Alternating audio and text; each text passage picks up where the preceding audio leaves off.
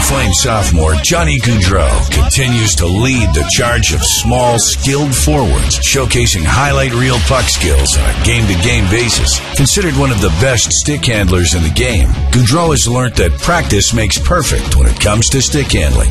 He's being a strong stick handler, I think uh, a lot of practice. Um, at the end of practice, uh, get a few pucks, stick handle between them, uh, and make sure you're always, uh, you know, keep your head up because in game time you're going to need to keep your head up.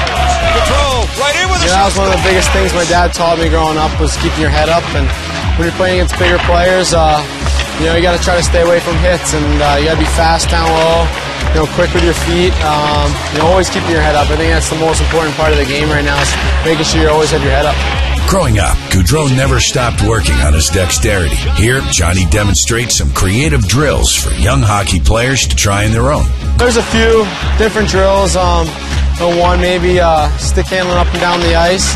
And then the next part of the drill, stick handling. Instead of stick handling, you're using your feet, kicking the puck back and forth with, with your feet. All of this uh, keeping your head up. And, you know, just, uh, you know, working with other players, making passes, uh, you know, stick handling as much as you can, as many times as you can. All right. I think uh, this is something I like to do before warm-ups. Just work on my hand-eye coordination.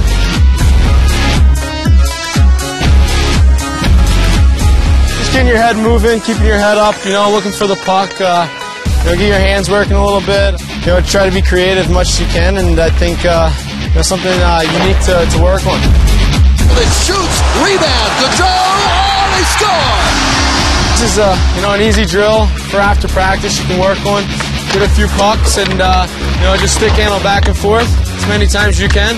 Try to go as fast as you can. Stick handle a few times on each side. Maybe go a fast one. Go dragon.